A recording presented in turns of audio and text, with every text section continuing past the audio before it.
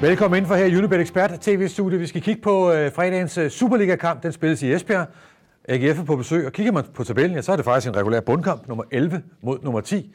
Men bundholdet Hobro, de ligger så langt efter, at, at faktisk er det sådan øh, lidt en gratis kamp, men i hvert fald hvis Esbjerg igen kan få point, ja, så må, hvor de nærmest var sikret her. Øh, 10 kampe før, før sæsonslut. Ja, det er godt for dem, at der kun, og AGF, at der kun er et hold, der rykker ud i år. Det er jo sådan et eller andet sted en, en, hvad skal vi sige, en tryghed øh, at gå ind til foråret med.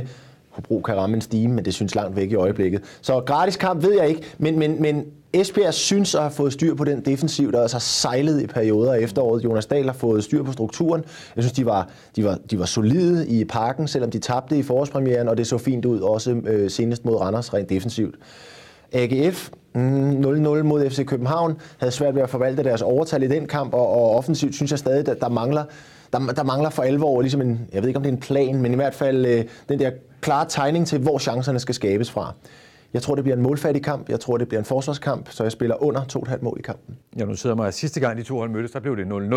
Og jeg Præcis. har også lagt mig op af det her med, at det nok bliver en, en kamp, hvor forsvarerne kommer til at dominere. Og derfor så tror jeg også heller ikke på særlig mange mål. Jeg tror faktisk, vi kan ende med et, øh, et remis 0-0 eller 1-1. Så for mig, der bliver spillet et kryds.